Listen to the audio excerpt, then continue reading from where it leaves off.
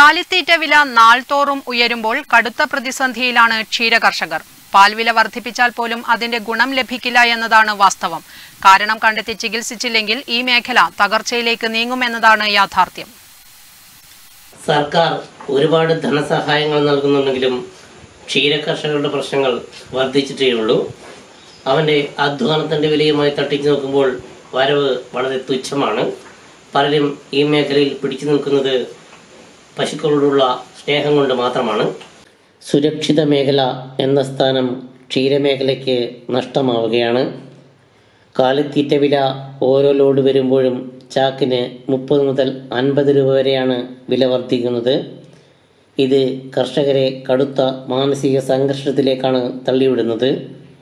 ഉറപ്പായ വിപണി എന്ന ഉത്തമ ബോധ്യത്തിൽ നിന്ന് ഇവിടേക്കെത്തിയ കർഷകർ നിരവധിയാണ്. പാൽ ഉൽപാദനത്തിൽ നാം കൈവരിച്ച പുരോഗതിയും വളരെ വലുതാണ്.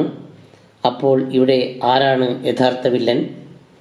നാളുകൾ കഴിയുന്തോറും ക്ഷീരകർഷകർ തളരുകയും മിൽമയും ക്ഷീരസംഘങ്ങളും തടിച്ചു കൊടുക്കുകയും ചെയ്യുന്നതിന്റെ കാരണം എന്താണ്?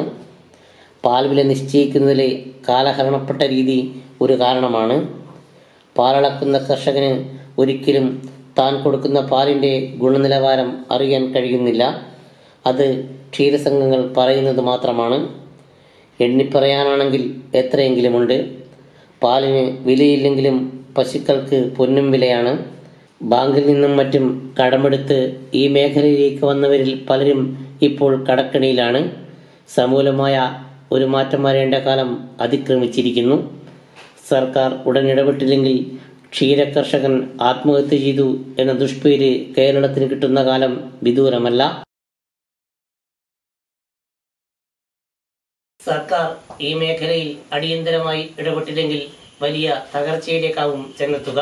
നെറ്റ്വർക്ക് ന്യൂസിന് വേണ്ടി സേതു നെടുമ്പ.